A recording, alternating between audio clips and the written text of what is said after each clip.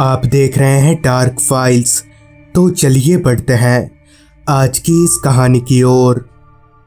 मैंने जब ट्रक को सिंह जी के ढाबे पर रोका तो वक्त हो रहा था रात के पौने बारह बजे का। दरअसल मैं सरिया लेकर बिजनौर गया हुआ था और अभी वहीं से लौट रहा हूँ। खैर, मैंने खाने का ऑर्डर दिया। फिर कुछ देर बाद सिंह जी खाना लेकर आए और खाने की थाली टेबल पर रखते हुए कहा, ड्राइवर साहब, आज आपके साथ आपका खलासी प्रदीप नहीं दिख रहा? जिस पर मैंने कहा, वो बहुत लंबी कहानी है, फिर कभी बताऊँगा। और ये बोलकर मैं खाना खाने लगा। खाना खा लेने के बाद मैंने सिंह जी को पैसे चुकाए और ट्रक लेकर आगे की ओर चल दिया। रास्ता एकदम सुनसान था। मेरी ट्रक के अलावा कहीं कोई गाड़ी वगैरह नज़र नहीं आ रही थी। क्योंकि अभी मेरी ट्रक मेन हाईवे पर नहीं थी तो इसलिए ज़ाहिर सी बात है कि इतनी रात गए, रास्ता खाली ही मिलेगा और इसलिए मुझे थोड़ा डर सा लग रहा था। हालाँकि ऐसे रास्तों पर चलने की हम ट्रक ड्राइवरों की आदत होती है। खैर, अभी मैं आगे बढ़ ही रहा था। तभी मुझे ऐसा लगा जैसे हल्का हो लेना चाहिए, मगर फिर भी मैंने किसी तरह से खुद को रोके हुए रखा, क्योंकि मैं इस रास्ते पर उतरना नहीं चाहता था। मगर जब बात बर्दाश्त से बाहर निकल गई तो मुझे मेरी मर्ज़ी के खिलाफ जाना ही पड़ा। लिहाजा मैंने ट्रक को रोड के एक साइड में रोक लिया और वहाँ से थोड़ा हटकर पेशाब करने लगा।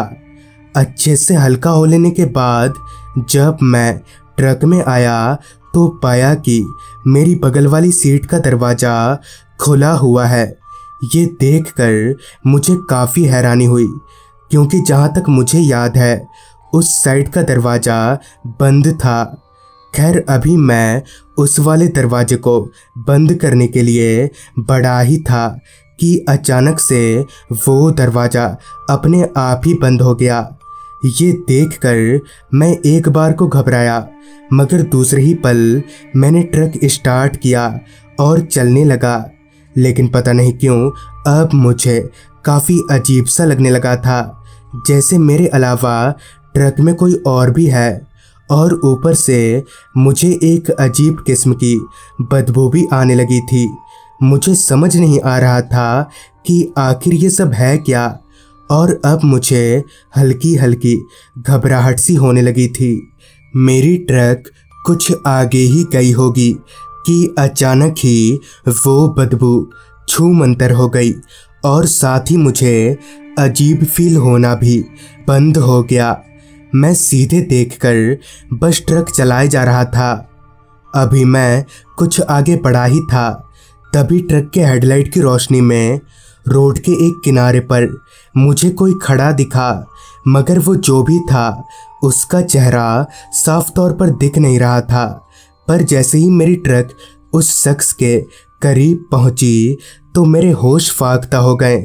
मेरी आँखें फूल कर चौड़ी हो गईं। दरअसल रोड के किनारे खड़ा वो शख्स और कोई नहीं, बल्कि मेरा खलासी प्रदीप था। जिसको मरे आज पाँच दिन बीत चुके थे।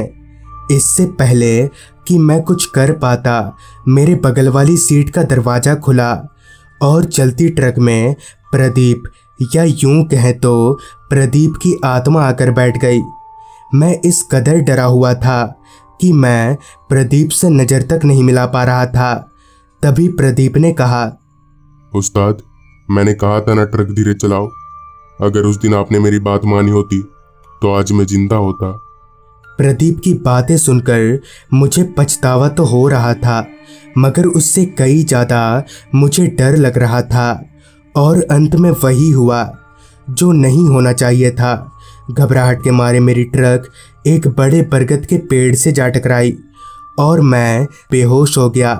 फिर जब मेरी आँख खुली तो मैं हॉस्पिटल के बेड पर लेटा हुआ था मेरा एक हाथ बहुत ही बुरी तरह से फ्रैक्चर हो चुका था। दरअसल आज से कुछ दिन पहले मैं और प्रदीप उसी रास्ते से ट्रक लेकर जा रहे थे। मैंने हल्की सी पी रखी थी और मैं काफ़ी तेज गाड़ी चला रहा था।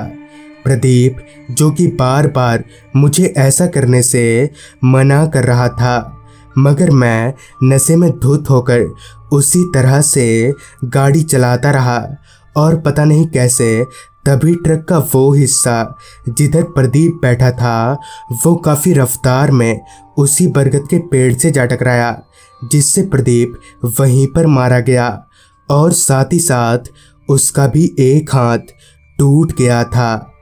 तो दोस्तों, ये थी आज की कहानी।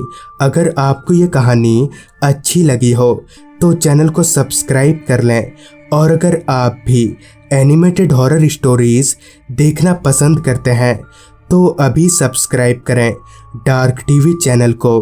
लिंक आपको नीचे डिस्क्रिप्शन बॉक्स में मिल जाएगी।